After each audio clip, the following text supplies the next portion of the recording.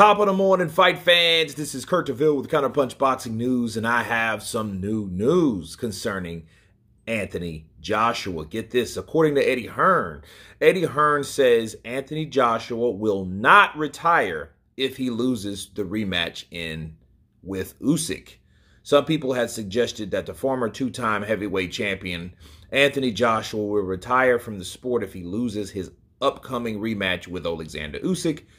This line of thinking goes something like this. Joshua, if he is beaten by Usyk a second time, perhaps a stoppage this time, will lose and will all remaining confidence he has left. And Joshua, who sees himself fighting and winning at top level and top level only, will not want to continue boxing. Who knows? Maybe this could be how things turn out.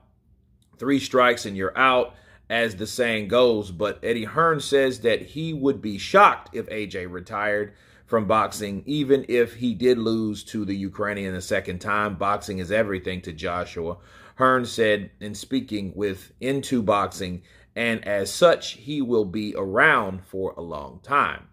No, I wouldn't be shocked. AJ loves fighting. Boxing is everything to him. Hearn said, when he lost to Usyk, the amount of people in the industry messaged me saying, I think he should retire now. I said, he's just lost to the pound for pound number one or two. He's not had that many fights. He loves the sport, and I'm sure he'll be around for a long time, but obviously, we'd much rather win. Um, let me counterpunch. Anthony Joshua, um, uh, I don't know what it is. People treat boxing like another sport. And it's sickening. And it just shows you how crippling the sport has become when it came to people's perception of losses. They look at losses as like some type of warning sign, like this is a fucking job, like a like a verbal warning, a written warning, and a final written warning, and then you're out of there. It's like it, boxing is not like that. Okay, some of the best fighters have five or six losses. Why? Because those fighters have fought the best fights. So you're looking at a guy with a record of 24 and 2, right, with 19, 20 knockouts, like Joshua has. You're looking at the result of a person that has fought the top opposition. For those who have these records that look like fucking uh, a video game, Okay, like Wilder's record used to look, and you know, guys like that that has no blemishes, is 30 and 0, no losses, no draws, 30 knockouts, you know, and then you got guys like that that have no losses. Chances are the the the team around them have picked their fights for them to the point where that's how the narrative went. It was it was illustrated like that. That's why I love when cherry picks go wrong. But if you have a team around you that picks the right fights, you won't go wrong. Because that team around you is doing their job. They know, yo, you can get you can beat this guy. Not only you can beat this guy, you can do it easily without any problem. Very, very, uh, uh very uh, low risk there. Okay, very low resistance. All right. That's what you can do. So people get this perception. Oh, three, you three strikes, you're out. That's what no.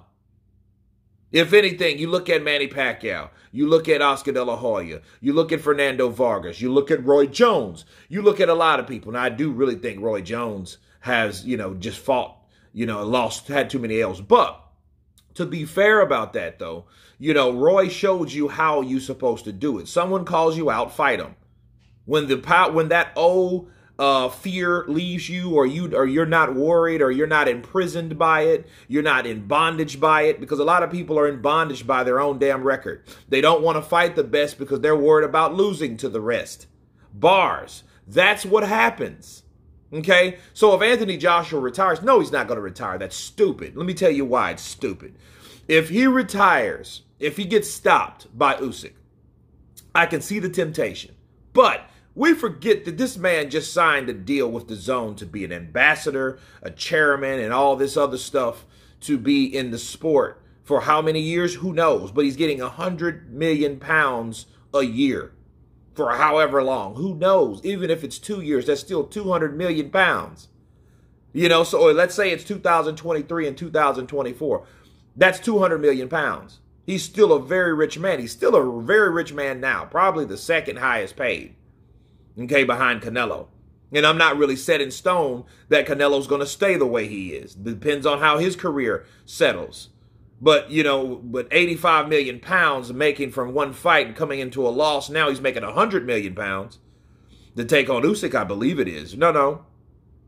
Um, I think it's 50-50 or something like that. Because they rene renegotiated the terms for Usyk, which was great.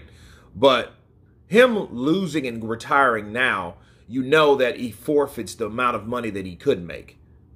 Anthony Joshua is a businessman, so he knows, like, yo, I'm not going to retire just because I got beat by one of the best fighters in the world. No, Alexander Usyk is, pound for pound, because he wasn't an original, a natural heavyweight, okay, professionally.